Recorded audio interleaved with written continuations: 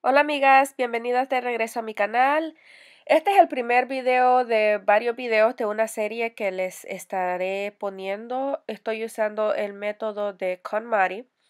He estado escuchando su audiobook y ella sugiere hacer limpieza en la casa, pero sacar lo que no nos trae alegría, lo que no nos da joy, los que lo tocamos y no sentimos que nos, que nos brinda alegría y que vayamos por partes, que no saquemos todo de un solo, sino que lo dividamos en diferentes categorías.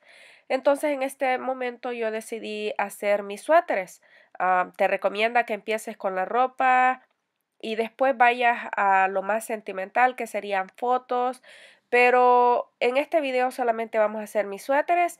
Si te gustaría ver el resto de los videos, te invito a que te suscribas y podrás hacer esto junto conmigo. entonces, saqué todos los suéteres. Recomienda que saques todos los suéteres que tengas en todos los closets, en toda tu casa, en la lavadora, en la sala, qué sé yo, en el garage, que en, todas las gavetas, en tu closet, que no dejes ni un suéter porque eso te va a ayudar para que veas bien todo lo que tienes.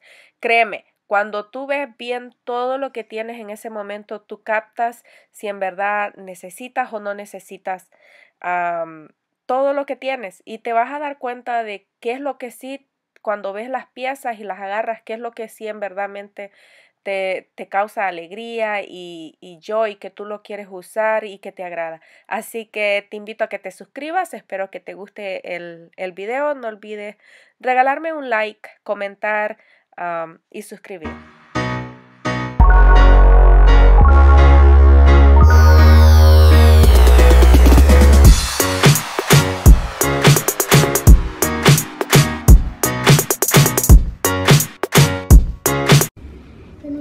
Esto es lo que estoy en este momento. Ahorita estoy, saqué todos los suéteres.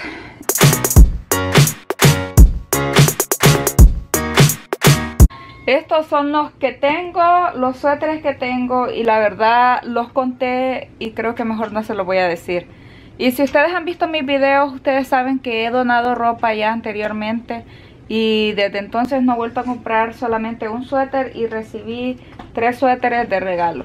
Entonces, vamos a seguir a ver qué pasa. La verdad que me siento como... Oh, pero bueno, vamos a ver.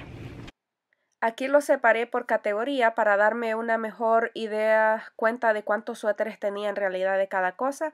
Lo separé por cardigans, suéteres con zipper, suéteres con gorros y suéteres más delgados. Al final me quedé con mucho menos suéteres de la mitad. Estos son los suéteres que se estarán yendo a donación y aparte ya los suéteres que se fueron a la basura también. Les recomiendo que lo hagan, no olvides suscribir y darle like.